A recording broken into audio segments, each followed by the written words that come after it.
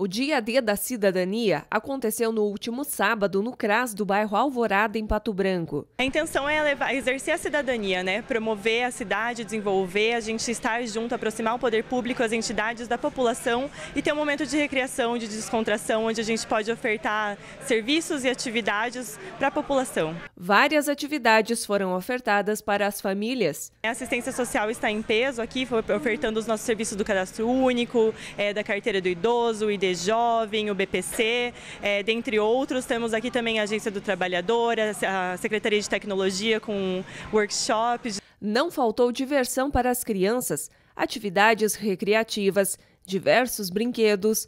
O Dragões Motoclube Brasil Distrito Pato Branco trouxe cama elástica, distribuiu para as crianças algodão doce e balão. É uma imensa alegria nós, dos Dragões.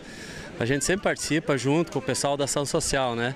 E esse dia da, da cidadania, a gente fala dia da cidadania, mas pode ser também colocado como rua da cidadania, né? E a gente era para ter feito há dois, três final de semana, não deu certo.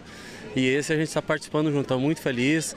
Também foi ofertado corte de cabelo para a comunidade e foi realizado pelos estudantes do SENAC. Nós estamos aqui no bairro fazendo esse trabalho, atendendo é, a população. Nós temos aqui desde o, o corte de cabelo, os nossos alunos estão praticando também, nós estamos com os nossos instrutores, nossa equipe de instrutores e atendendo a população. Então a gente fica muito feliz dessa oportunidade porque o SENAC é isso também, né? O SENAC está com inscrições abertas para os cursos de qualificação, cursos gratuitos e outros subsidiados. Nós temos o técnico da enfermagem com as, as inscrições abertas, nós temos um, uma especialização técnica em instrumentação cirúrgica, esse é um curso muito bacana para quem já é formado na área. Temos também o curso de auxiliar de cozinha, né?